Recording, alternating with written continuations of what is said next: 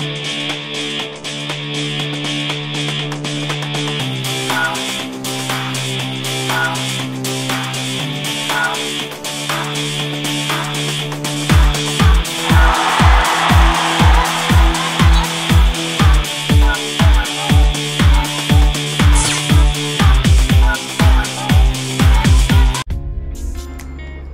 はい皆さんこんにちは。鳥取キングダムです、えー、今日はですねちょっと初心者向けといいますかあの意外と知らないと皆さん損してるっていうところをちょっとあの気づいたので、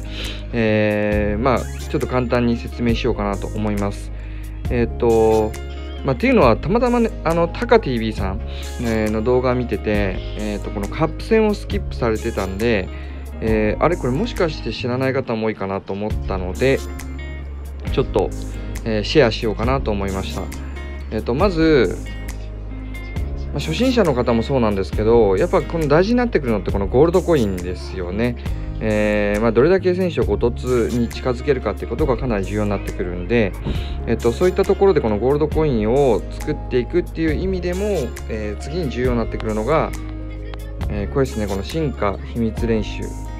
えとあとこの進化特別練習というところだと思うんですけど、まあ、進化秘密練習に関してはリングでの交換、えー、もしくは、まあ、あのいろいろなイベントで、えー、もしくはログインボーナスでもらえるというところですね。で意外と、えー、今インターナショナルえー、もう頑張ってる、えー、パラグアイとか、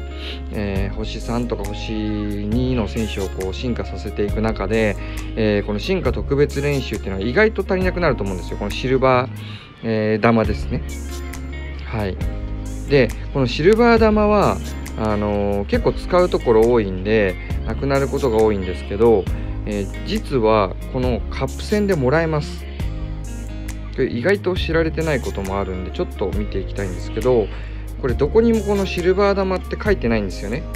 あのもらえるっていうところに。なんですけど実はうんとこれ。このマスタースーパーカップ。でこのマスタースーパーカップ書いてはないんですけど実はこれ優勝すると、えー、シルバーの進化玉もらえます。はい。なのでこれ年間通して、えー、っとおそらく6回ぐらいあるのかな。なので、えー、年間で6個ぐらい、ま手に入るので、えー、これスキップするのはもったいなくて、まあ、なるべくこのマスタースーパーカップで、えー、うちとかは回して、え、であの進化特別玉ですねシルバーの、えー、玉を集めてパラグアイの選手を進化させたりあと星3のガチャ3の選手を星4に進化させて売却することでシルバーコインを増やして、えー、金コインとの交換ということを、えー、行ってます。はいまあ、ちょっとあの優勝まで見てみましょう。意外ともうこれあの記載がないので知らない方も多いと思うので、えー、一応こうシェアしとこうかなと思いました。で特に今アクセサリーの集会も頑張ってらっしゃると思うんでみんなが。うんとそんな中でこのカップ戦をやるかやらないかっていうのはシルバー玉の集まり方が全然変わってくるので、えー、僕はもうずっとこのシルバー玉集めを選んでますね。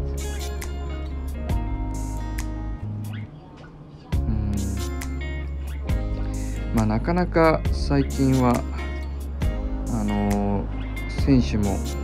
ガチャがすごい来てたんで、まあ、皆さん選手多分、えー、育てるのにアイテムが足りないことが多いと思うのではい優勝しましたね、えー、でちょっとプレゼントボックス見てみたいと思います。はいこんな感じですね。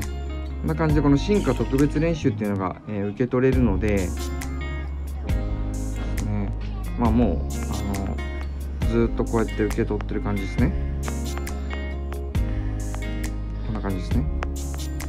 でこうやって貯めて、えー、進化させてゴールドコインを増やしていくっていう感じでやってます。なので今回は、えー、まあ、ここでシルバー玉取れるんですよっていうシェアでした。はい。ではまた。